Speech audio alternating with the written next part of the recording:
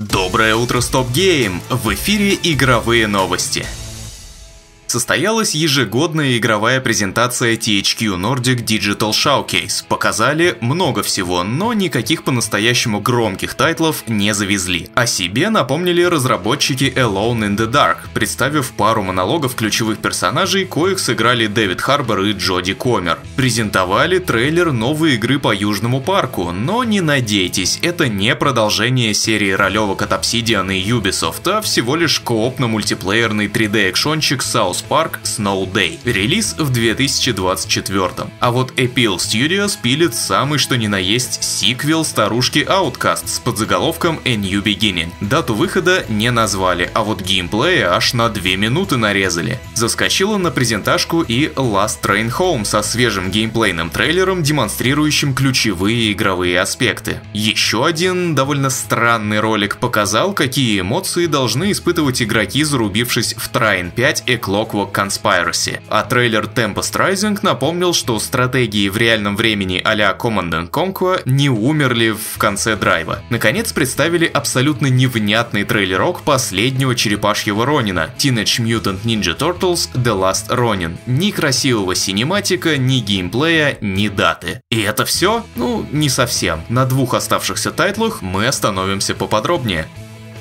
И, во-первых, это анонс, ударивший прямо в сердечко. Titan Quest 2. Да, без геймплея, но черт возьми, сама мысль о том, что будет сиквел, невероятно воодушевляет. Ставьте класс, если я не один такой. В ролике показали, как богиня возмездия Немезида обрушила весь свой пауэр на процветающую Спарту. Разработкой занимаются авторы Spell Force 3. Из подробностей известно, что исследуя мир Titan Quest 2, мы повстречаем старых знакомых монстров вроде кентавров, сатиров, гарпий, сирены и прочих, однако будут и новые чудовища. Помимо битв придется болтать с NPC и заниматься сбором предметов и информации для дальнейшего противостояния Немезиде. Бои обещают быть сложными, а система прокачки гибкой. Комбинируя умения и особые предметы, можно будет создать уникального героя. Наконец, станет больше вертикального геймплея, появятся секретные локации, открываемые при помощи божественных сил, а также возможность кататься на лошадке. А еще кампанию можно будет пройти в коопе. Titan Quest 2 выйдет неизвестно когда на ПК, PS5 и Xbox Series.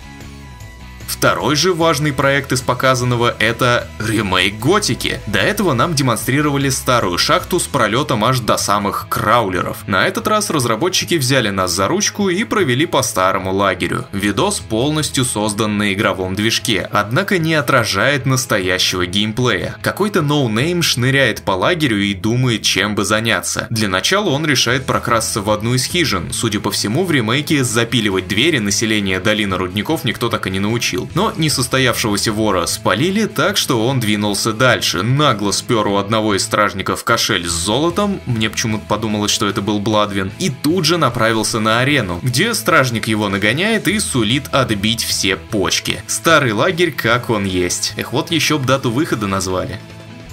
Если первая Alan Wake не особенно старалась напугать игроков, то вот вторая часть намерена стать настоящим survival хоррором. Гейм-директор Кайл Роули в беседе с журналом Edge рассказал, что при создании сиквела в качестве одного из главных ориентиров команда взяла недавние ремейки серии Resident Evil. Remedy хочет создать нечто давящее, заставляющее игрока ощутить свою уязвимость, делающее врагов более страшными и опасными. Продолжение Alan Wake выйдет 17 октября на ПК в Epic Game Store PlayStation 5 и Xbox Series стартовал новый сезон в Overwatch 2, а это значит, что в игру наконец завезли PvE. Три миссии за 15 баксов. Журналисты отмечают, что это вообще-то дороговато, при этом задания получились, ну, такими себе. Новых механик не завезли, а кроме скучных роботов из противников никого. Сюжет у PvE миссий тоже проходной и не преподносит абсолютно ничего нового для фанатов. Вот и думай, стоит ли это 15 долларов. А судя по оценкам Steam, задумываешься, а стоит стоит ли сама Overwatch 2 того, чтобы тратить на нее время. Всего через пару дней после старта в магазинчике Гейба рейтинг упал аж до 9% положительных отзывов на основе более 106 тысяч обзоров пользователей. Второй Over стал самым низкооцененным проектом в Steam. Игроки жалуются на высокую стоимость внутриигровых предметов, неадекватный донат, малое количество контента и прочее. Скорее всего, через какое-то время система скроет часть негативных отзывов, подходящих под критерии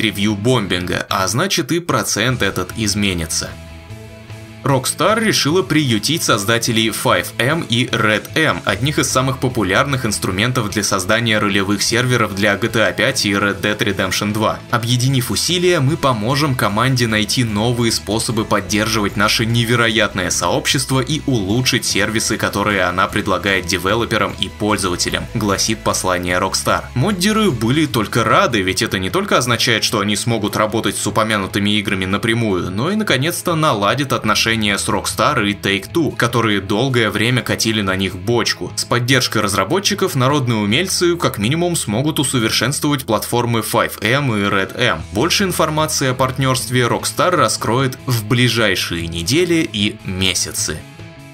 И еще несколько новостей напоследок. Дуэт разработчиков из Blue Rose Team выкатил трейлер Twin Peaks Into the Night, фанатской адаптации культового сериала Дэвида Линча с графикой игр эпохи первой PlayStation. Демо появится уже завтра. Кооперативный платформер Enchanted Portals, тот что как Cuphead, только который есть дома, обзавелся релизной датой. Невероятные приключения Бобби и Пенни начнутся 6 сентября. Создатели Call of Duty с магией и драконами Immortals of Avium Medium объявили, что игра ушла на золото, а значит выйдет точно в срок 22 августа. А вот авторы ремейка Lollipop Chainsaw докладывают, что не успевают завершить проект в этом году, а потому Джульет выйдет погулять только летом 2024. И на этом все. На сайте stopgame.ru читайте свежую редакционную статью, в которой наши авторы поделились своими любимыми игровыми саундтреками, а также обязательно посмотрите мощный видос от Глеба Мещерякова, который взялся рассказать все о клонах Командос. Приятного ознакомления и хорошего вам дня!